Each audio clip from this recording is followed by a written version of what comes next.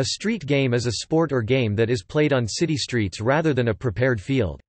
Street games are usually simply playtime activities for children in the most convenient venue. However some street games have risen to the level of organized tournaments, such as stickball. When street games are based on organized sports the rules are usually highly modified to fit the situation, i.e. manhole covers for bases with cars or buildings for foul lines in stickball.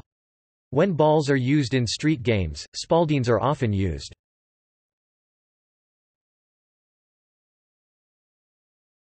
Topic: List of street games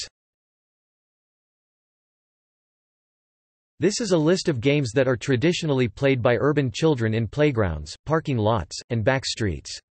They are all games that may be played on a hard surface, like asphalt. They are part of children's street culture, and are notoriously hard to classify rigorously.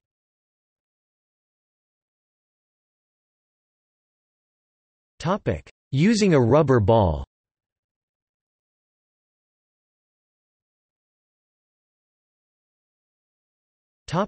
Other games.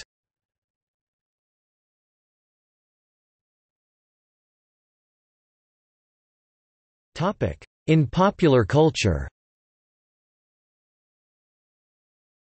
A 2010 PBS documentary, New York Street Games, shows the best-known street games played in New York City in the 20th century, as well as discussing the decline of those games in recent decades.